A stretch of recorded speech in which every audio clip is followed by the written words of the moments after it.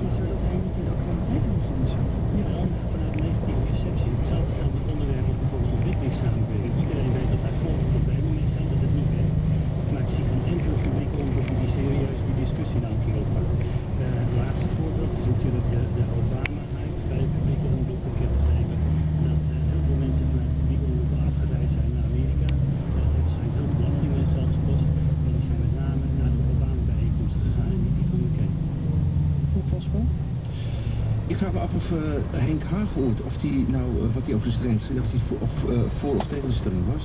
Had je, heb daar. Nou, hij zegt, hij wil het niet vereenvoudigen, maar als het echt moet, dan zegt hij wel, ja, ze zijn te links. Zo zei hij het Nou eigenlijk. ja, nou, ik ben het er niet mee eens in ieder geval. Ik vind de, die omroepen, die, die rubriek helemaal niet te leren. Wat ik wel vind, is dat ze niet zo goed zijn. Ze gaan heel vaak op incidenten in. En wat ik ook niet begrijp, is dat er wordt gesproken over bijvoorbeeld de partij van Verdonken en Wilders. Die krijgen, vind ik,